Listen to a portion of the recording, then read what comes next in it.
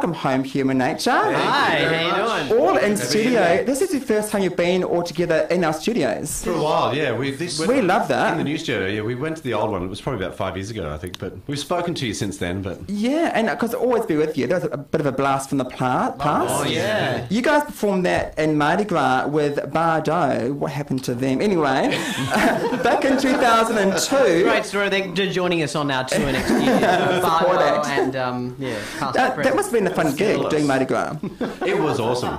yeah, um, it's a it's a crazy night, but um, it was uh, probably an, our most unusual crowd ever because instead of like the high pitched screaming. screaming of girls at our concerts prior to that, to have there was this roar, roar this mad. I have to say, um, last night I think you guys posted a throwback picture of you guys covered in mud and you were guys topless. Yeah. That was kind of hot. because moment. we were Done your because we were coming in today with a little precursor to. No, tw 25 years since um, you formed, um, I guess, in high school with the four tracks. And normally groups have members leave and they go solo, they break up. But what holds you guys together for so long? It's, we love that. Just saying. Yeah. we actually, I mean, we really enjoy singing together, you know, and I think we always have realised that what is special about human nature and the four of us is the four of us. You know, we can all sing and, and, and we're all great, amazing guys individually, but but as a group, I think it's that's what's special. And I Really think that's, humble, too. That's what our fans have liked, and uh, you know, we've never thought of anything else. We've never thought of splitting up or, or um, making a change. It just it keeps working. Now, after four, I guess, original albums, you um, did the Motown albums, which were so successful, and that led to the residency in Vegas in 2009. You're still there.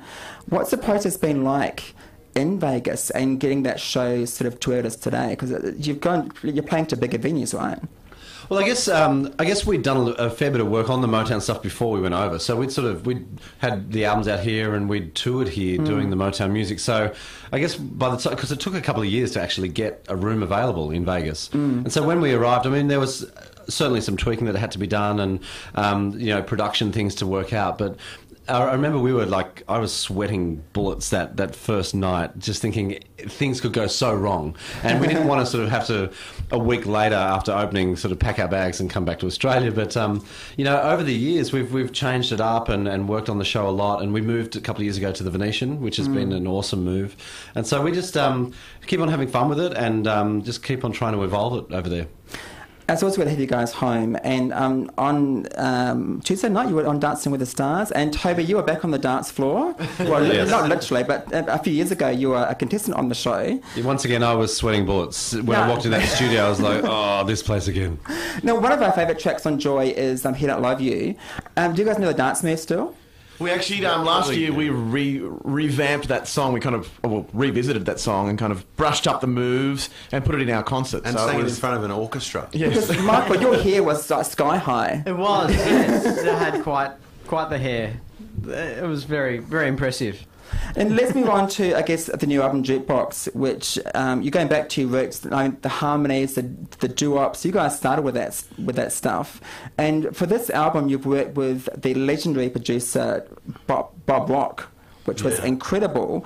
It must have been a lot of fun in the studio recording the new album with him. It really was. It was great, and we've we've actually gone right back to the start of our career actually, because the first song we ever sang together was Earth Angel, mm-hmm. um, a song by the Penguins, and um, we Andrew um, arranged a doo wop version of that just for the four of us, and that was our first show.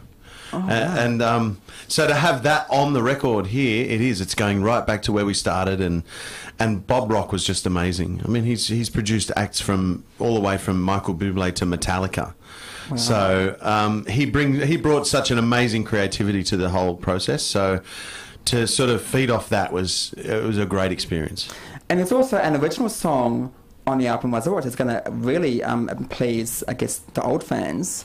Yeah, we. What's the um, new track like? It's called End of Days, and it's it's kind of in the same vein as of the of the whole record. It's kind of soulful, old school, but it's um it was just important for us to have an original song on the album and really flesh out this jukebox concept. And um, I think, yeah, a lot of the fans that have, I mean, there, we had a Christmas album last year too, which had a, a, an original Christmas song on there. But I think this is probably the first standalone original song from us for a while, and it just fits in the mix nicely. And it'd be great to do that one live. I think it'll be awesome. Next May, you're going on tour, which is fantastic. What can fans expect from the tour? You're doing obviously songs from Jukebox, um, your, your own stuff, hopefully. Yeah, we'll be doing. I mean, it's a real celebration of the, the 25 years we've been together. So we'll be doing songs from from all the all the albums, you know, I guess that, that we've had over the years, and it's um it's going to be great. You know, it's so so great to be back in, in the country and just feel that. You know, we we can really feel the energy from people who.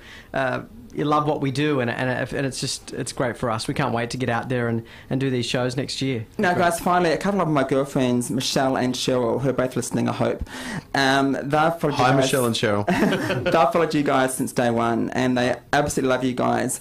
Um, I said you can have one question each. Okay, so Cheryl's question is, um, when are you guys releasing an original album?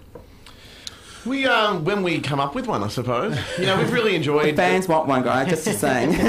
Put Well, and I guess that's why we put an original song on this one, so we're not leaving people who like our original side out. But I think for us, the, the Vegas show is a real is a real um, big part of our career at the moment, and we want to evolve that show and put some of the jukebox material into that show as well. So it just made a lot of sense to make this record, and you know we're enjoying it. I hope the fans enjoy our interpretations of these songs as much as we uh, they enjoy our original stuff. But we'll um we'll, we'll always keep it. We'll keep swinging back. Swinging both ways, should I say? Swing break, we love that. Enjoy. now, um, Michelle's question is: um, You've recorded with icons like John Farnham and Olivia Newton- Newton-John. Um, if you were to do a duets album, a massive hint, hint, It's a great idea, don't you think? yeah, Not bad. Um, um, which Aussie artist would you like to duet with? Phil, Oh, Aussie artist. Um, Aussie first artist. one that comes to mind, Jon Stevens. Toby, Oh, wow. Um, maybe Bachelor Girl. Andrew, Cool. Collette. ring my bell, and Michael. Oh well, I mean, you said it before, and it's pretty obvious. But um, yeah, I think Maybe- Bar- Bardot, I'd say. or maybe girlfriend. All together. Yeah. Great having you guys home and in the Joy Studios. Thank you. It's been fun Thank you. Thanks for having Thanks for joining us this morning on the show.